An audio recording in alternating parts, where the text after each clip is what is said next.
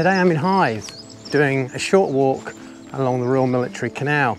I started at the Romney Hythe and Dymchurch Railway in Hythe and I'm walking to West Hythe to a place called Unit 1 which is a, a fairly new establishment I believe that sells fine local ales and does good food. Thursdays is homemade pizza day. They make it in front of you to order and it happens to be Thursday. And if you watch this channel, I'm partial to a bit of fine local ale and good food. So why don't you come along for this three kilometre walk along this lovely canal. This is actually the first time I walked along this canal, uh, or at least along this section from Hythe to West Hythe. So let's go explore.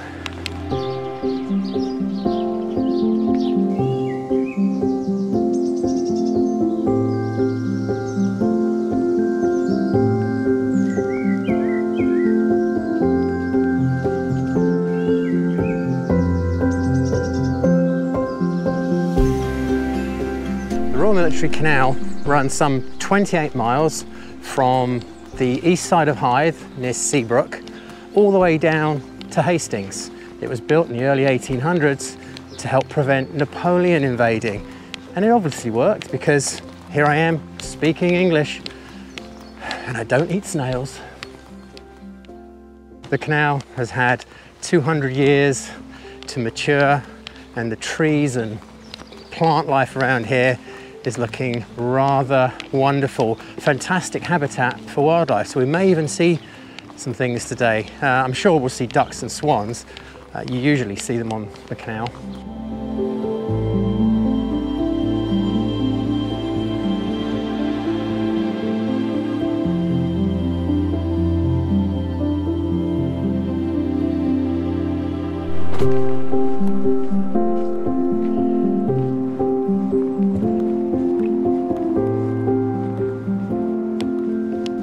You've got a choice of footpaths along this canal on the south or north side. I started with the south side from the railway station and I've come to my first bridge so I thought I'd cross over and walk on the north side. On the north side you've got access to a lot of nice countryside. There's some nice hills up there that go up to Lympne. There's trails up there so if you want to do a detour or if you want to create a loop there's lots of opportunities.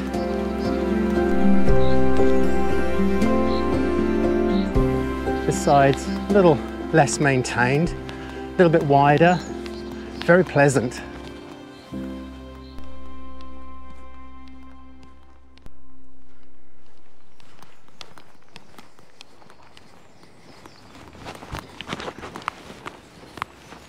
I've just come off the path. I'm going to do a very quick detour, or not so much detour. I'm just going to have a quick nose over here because here is a footpath. I said there were footpaths and then three seconds later, here's one of the access points to the hills. No public right of way, permissive path if used at own risk. And there are, uh, there's a marker there and there's a marker up on the hill. So obviously people can go up there and walk at their own risk. Looks wonderful.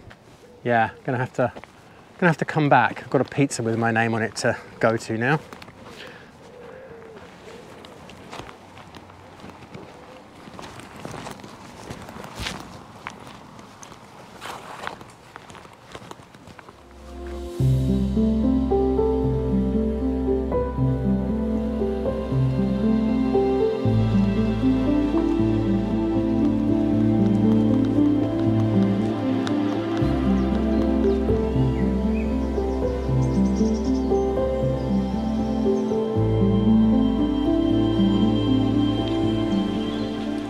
We're surrounded by countryside all around us. It's beautiful.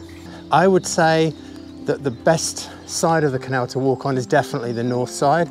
It's wider, more open, more, it's just more interesting actually.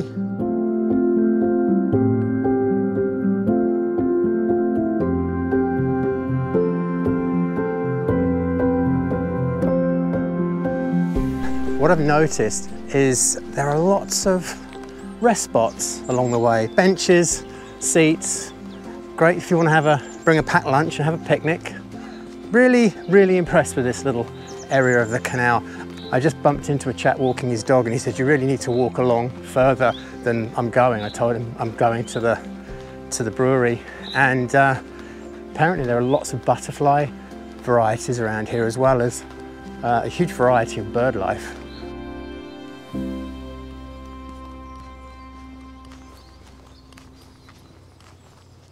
There's a bridge here that I cross to meet my friends and do some drinking and eating in that order, of course.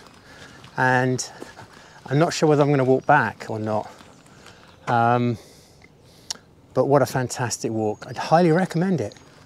But we're not done yet. Let's go and uh, let's go and see this, this cool place. Let's do a little bit of tourism reporting now. Switch gears. Oh, look at that view.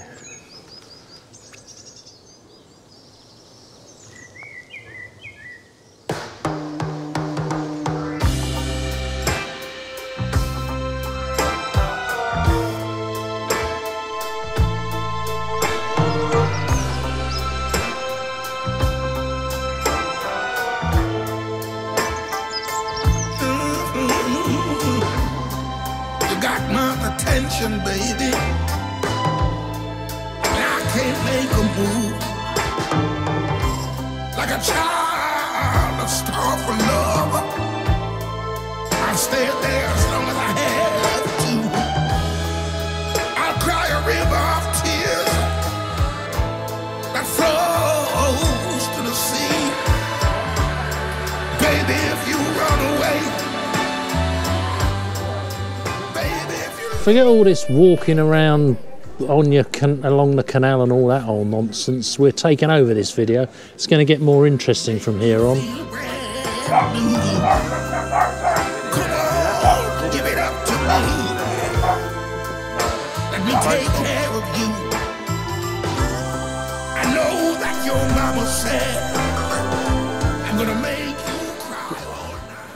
Oh, hello.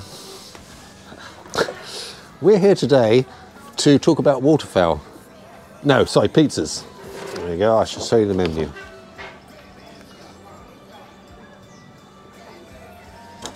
That's it. Please send your orders to wherever we are. Thank you. Good night. Yes, pizzas. More interesting than waterfowl on the canal.